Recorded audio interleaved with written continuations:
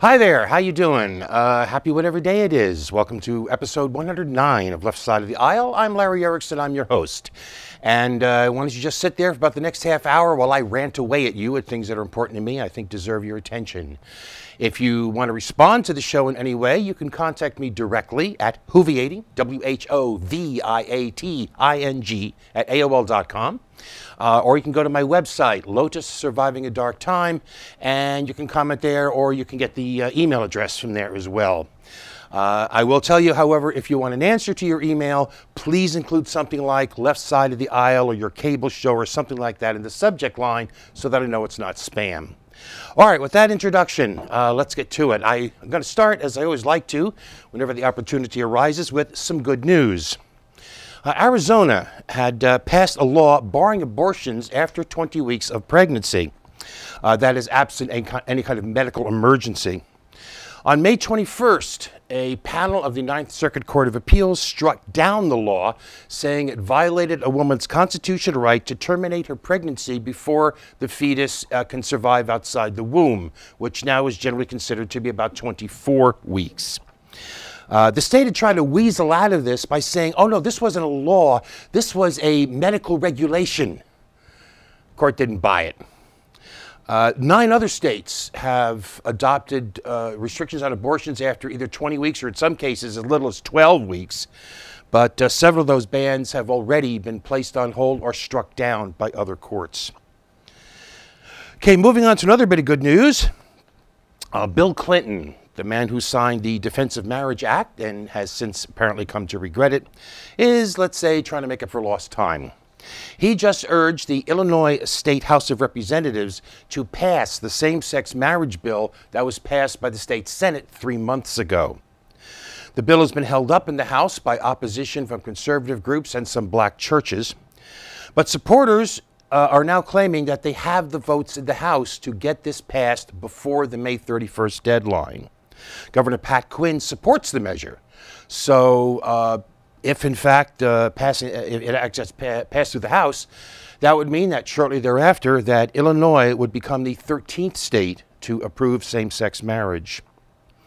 Meanwhile, on the international side, on May, 4, uh, May 18th, rather, French President Francois Hollande signed a law authorizing marriage and adoption by same-sex couples.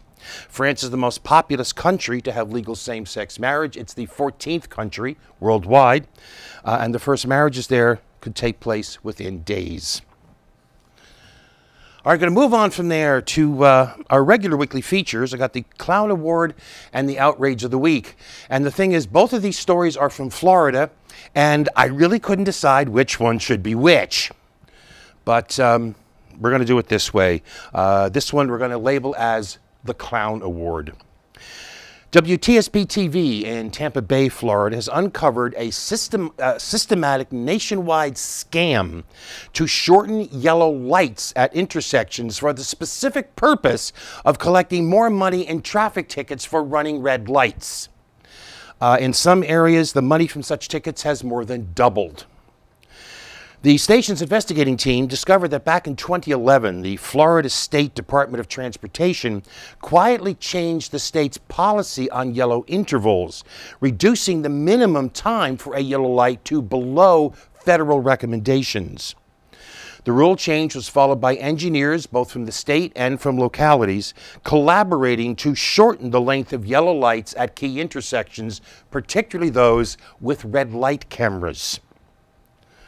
Red light cameras generated more than $100 million in revenue last year. Uh, they're using approximately 70 Florida communities. Over half of that money goes to the state, the rest goes to cities, counties, and the camera companies. In 2013, they are on pace to generate $120 million in revenue.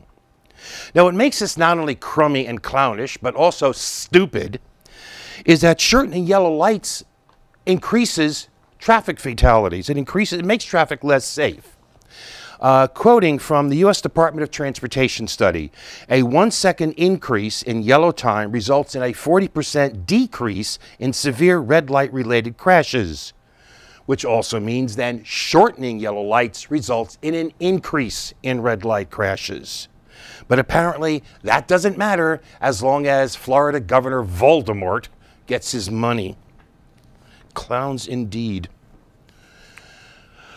From there, we go also back to Florida for our other regular weekly feature, The Outrage of the Week. This is not late breaking news, actually, but I just heard about it because the family just went public with this last week. Kaitlyn Hunt was an 18 year old high school senior at Sebastian River High School in Sebastian River, Florida. She was highly respected. She had good, good grades. She participated in cheerleading, basketball, and chorus. She was even voted most school spirit. That is until cops showed up on her, at her parents' door at, uh, on February 16th, handcuffed her, and arrested her on two felony counts of lewd and lascivious battery on a child. Her actual crime? She had a relationship with another girl, a 15 year old teammate on the school girls basketball team. They started dating last fall, and the younger girl's parents just couldn't handle it. So they are, it appears now, out to destroy Kaitlyn's life for the crime of turning their daughter gay. Kaitlyn's mother wrote in a statement that these other parents, quoting her, never came to us as parents, never tried to speak to us and tell us they had a problem with the girls dating. Instead, what they did, they had Kaitlyn arrested as an accused sex criminal. They tried to have her expelled from school now, despite the fact that the school administration refused to go along with this, despite the fact that there was a judge, judge's order that said Kaitlyn could stay in school provided the two girls had no contact, the parents went to the school board and successfully petitioned the school board to kick Kaitlyn out of school a couple of weeks before graduation. As of now, the state attorney's office is pressuring Kaitlyn to take a plea deal, which includes two years house arrest and a year of probation which not only would put her life on hold for a couple of years, this it would remain on her record as a conviction, which would greatly obviously limit her career choices. In other words, these, the other girl's parents may not succeed in destroying Kaitlyn's life, but they may succeed in severely damaging it. Those parents are bigots. The school board that expelled Kaitlyn is made up of buffoons. The state attorney's office is populated with twits, dolts, and jackasses, and the whole thing is an outrage. All right, from there to uh, other news. You have undoubtedly heard about, there's no question that you've heard about the um, EF4 tornado in Oklahoma on May 20th, a massive storm that killed uh, at least two dozen people and destroyed a significant part of the town of Moore, Oklahoma, which is a suburb of Oklahoma City. There are two things about this that I wanted to talk about here. The first is that this tragedy, as such tragedies uh, often do, brought out the best in some among us. We've, we've all heard the tales of the, of the help, the assistance, the donations, uh, the surprise rescues, the, the grateful reunions between people and, and pets thought lost. But such events can also help to bring out or at least shine a light on some of the worst among us.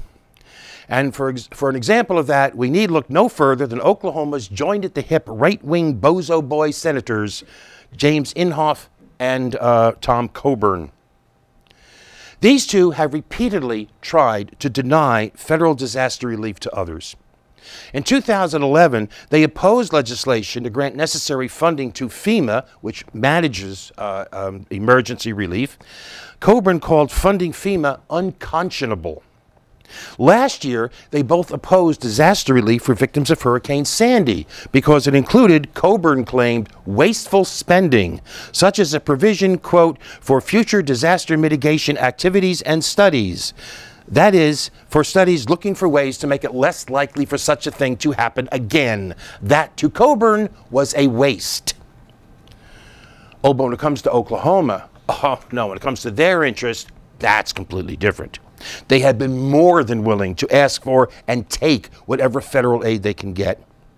In January of 2007, Coburn demanded speedy relief uh, after Oklahoma hit a, had a major ice storm.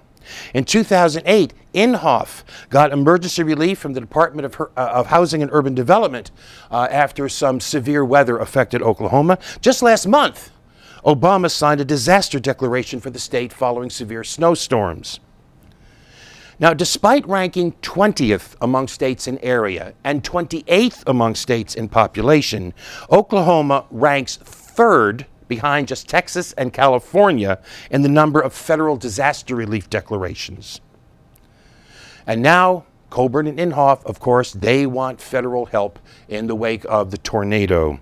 And the thing is, they want it paid for by offsets from, that is, cuts in other federal programs. So not only do they want the relief that they would deny to others, they want to pay for their relief by taking, funny, uh, taking monies away from other programs, monies that might have been used to benefit other people.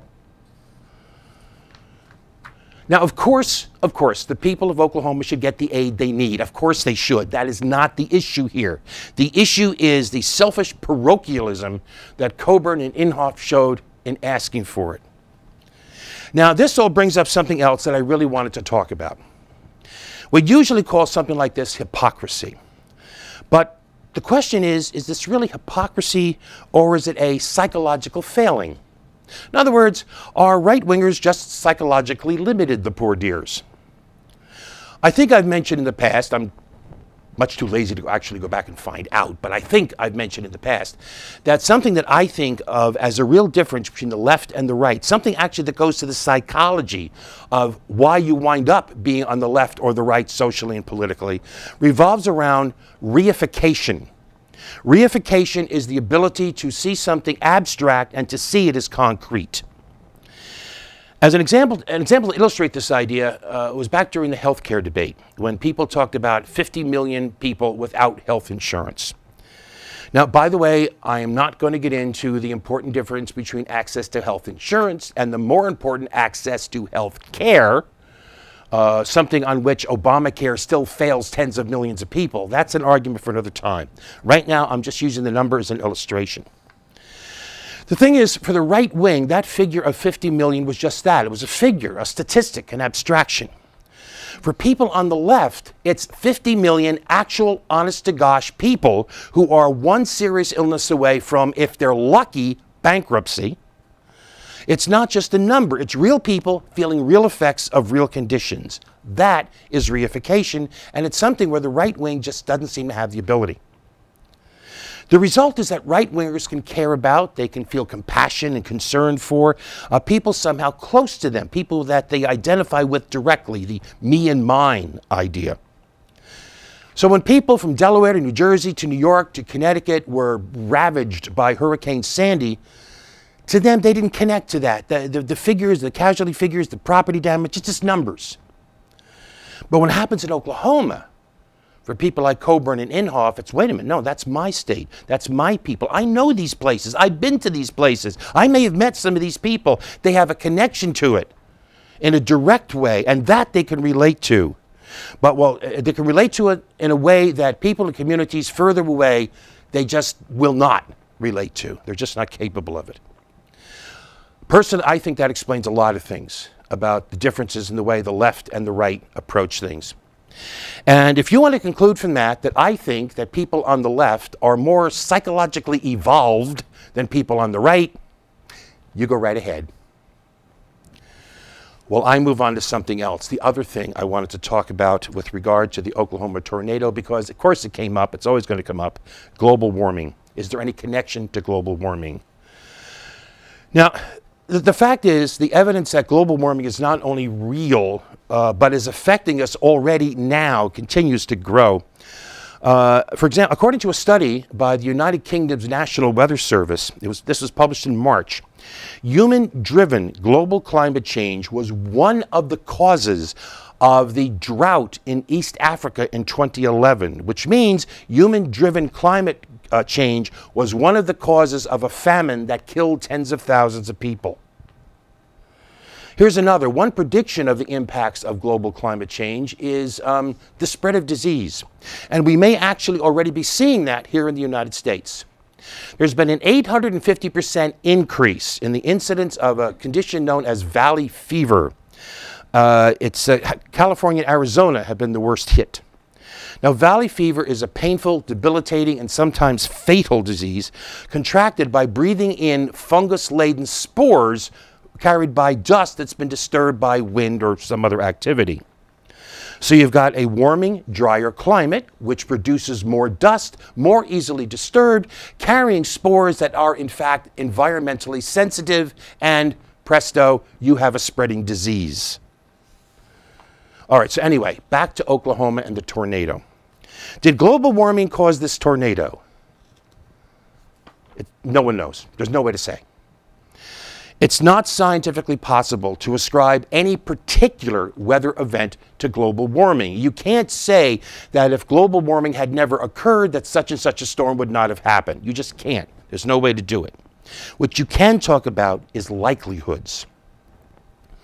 Climatologists are already predicting more severe weather as a result of climate change. One, result, one, one example rather that is hurricanes. The prediction is for fewer but more destructive storms over time.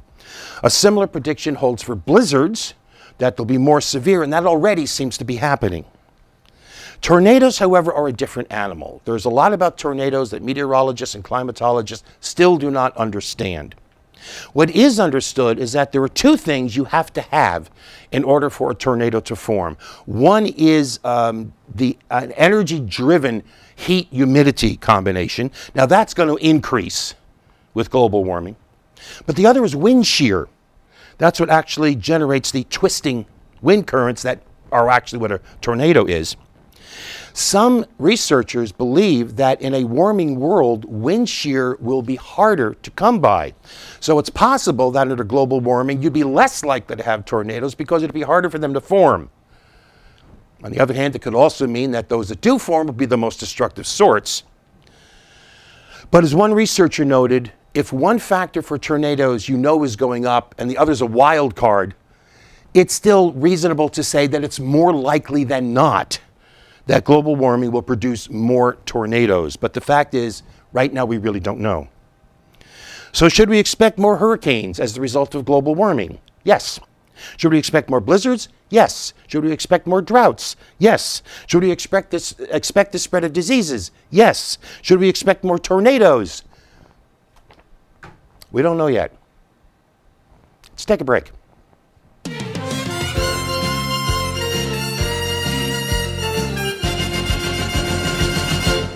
We're back. We're back. Uh, going to start here now with a couple of updates about something I talked about last week. Uh, last week I talked about uh, two things the phantom scandal of the IRS supposedly targeting teabagger groups, and the real scandal of the White House going after the phone calls of potentially scores of AP reporters. So I got some updates on both of those. Uh, on the IRS front, uh, contrary to previous reporting, in fact, contrary to what I said last week, it turns out that there was one group that had its tax exempt status revoked during this time of closer examination of groups looking for tax exempt status. It was a liberal group called Emerge America, which works with state affiliates in order to train women to run as Democratic Party candidates. Meanwhile, on the real scandal front, uh, it's another case of wait, it can get worse. The Washington Post has published a story about the Justice Department's monitoring of a Fox News reporter named James Rosen. This is yet another whistleblower case. This one of Stephen Jin-Woo Kim, a State Department contractor who was charged with espionage uh, for supposedly leaking some information about North Korea's nuclear program to Rosen. The DOJ tracked Rosen's comings and goings from the State Department. They timed the uh, uh, uh, traced rather the timing of his calls with a State Department security advisor. They got a search warrant to read his personal emails, which the State Department justified to the judge by calling Rosen a co-conspirator with Kim because he made an arrangement with Kim about how to get the information to Rosen and also obtained the phone records for at least five different phone numbers used by Fox News. This is all part of President Hopey Changey's obsession with government secrecy, and the truth is, this is getting scary. The, uh, the only upside of this is that previous presidents have found themselves getting into trouble when they actually went after the media. Let's hope the same is true here. Oh, and by the way, the amazing Mr. O has frequently praised the idea of whistleblowing. He even signed the Whistleblower Protection Act. But when the Huffington Post asked several nonprofit groups and the White House to name one whistleblower, one actual person that Obama has praised, they got zilch. Um, all right, last thing for today. Uh, there's a hard truth of which you may well be aware. Uh, poverty is going up, it's rising. 13% in 2008, 14% in 2009, 15% in 2010, over 16%, including nearly 20% of children in 2012. And poverty ultimately seems intractable. We seem incapable of getting it below 11%. Well, here's an idea to deal with that whose time has come again. MSNBC host Chris Hayes responded to a question from fellow host Melissa Harris Perry about how we can deal with uh, fighting poverty with a sign that said, just give people money. It actually is that simple. And yes, it actually is. The idea goes by various names guaranteed minimum in income, guaranteed annual income, universal basic income, but the guaranteed income part is the constant. The problem is that if the problem is that people don't have enough money, give them enough money so that they're not living in poverty. Now, the idea that at first blush this idea seems impossibly radical and kind of weird Really, it's just a reflection of how far our political debate has fallen in recent decades. This is not a new idea. In fact, it was widely discussed in the 1960s.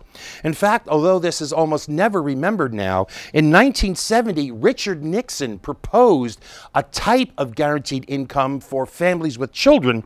It's a program he called the Family Assistance Program.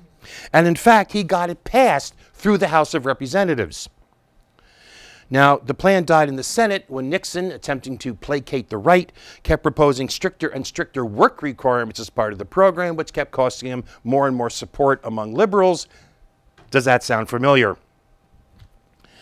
But even after that failure, the idea did not fade away immediately. In 1972, George McGovern proposed giving a grant of cash to each individual. Now, unfortunately for him, he presented it as a concept rather than a specific program, and he was never able to put an actual budget figure to it, uh, as a result of which the idea got mercilessly mocked. And so here we are, 40 years later, coming back to the same ideas. If poverty is the problem, money is the answer. Now, it's not the complete answer okay? Not the complete answer. I mean, what it does is it enable, enables people to go into the marketplace to buy the things they need, to not go cold, not go cold or hungry. It's building that floor under everyone's needs that I talk about as being part of my basic political philosophy. But it's not a complete answer because there are things that are, or at least should be, uh, part of what I call the commons that area of joint right and mutual obligation that should, by all that is just and right, lie outside the market. Areas like basic human needs, like food, like healthcare, as well as areas for what you might call psychic needs, things like open space and uh, um, uh, the arts. Now, guaranteed income, while a certain amount of money can improve access to, to things such as these, it should not be required for it. That is, there should not be a certain minimum amount of money you have to have in order to have access to adequate nutrition, to adequate health care, in order to have access to open spaces or the arts. All right, now I'm going to cut myself off there on that. I'll get back to that someday. But uh, I'm going to get back to the basic idea. Can a guaranteed income work? Can ending poverty really be as simple as giving people money? Yes, it can. Yes, it is. The arguments against this are of two types. One is financial, the other, well, I'll get to that. The financial arguments are where will the money come from and we can't afford it. Well, as for where the money can come from, there are two sources. One, we can just print it. We can just print it. Now, that could lead to inflation, of course, but um, that's not a problem we have now. The other place where some of the money can and should come from is the rich, whose share of our national income has been rising pretty much consistently over the past 40 plus years. Our work, our productivity increases over the past decades have been going mostly to making them richer, and it's about time we took some of that back. As for it will cost too much, those making the claim generally tend to just take the number of people, multiply it by the size of the grant, and give you a figure, which is a really dumb way to do it. One, because it doesn't account for the fact of outlays that will not happen because they're being replaced by this, uh, by this grant. And it also doesn't allow for the fact that if you give money to everybody, everybody's income increases. So a lot of people's federal tax bill is going to increase, and a significant part of what you put out is going to come back in again. But here's the bottom line Is there a cost to this? Is there a net increase in federal spending? Maybe. I don't care. A program that would end poverty, that would increase bargaining power for workers, that would put an end to state officials determining whether some single mother deserves help or not, uh, that would put an end to the drug tests and all the other invasive, humiliating requirements. Uh, a program that inherently recognizes the value of cooperative non labor activities is surely one that has a price tag worth paying. But that brings us to the other objection. This one comes exclusively from the right. It's the harder one to overcome because it's not built either on economic logic or even self interest, something which has actually led some people on the right to endorse a uh, guaranteed national income with the idea it would lead to a smaller government. No, this objection is cultural, it's psychological, it's mental. The objection is classism, contempt for the poor. It's the notion that if you provide people with the means to live above the poverty line, to just not be hungry or cold, to have their children not be hungry or cold, that they'll just lie back and live off other people's work. You find it in that long stale bumper sticker that says work hard or people on welfare are depending on you. You find it in the statement from my ex mother in law who said people on welfare are laughing at us.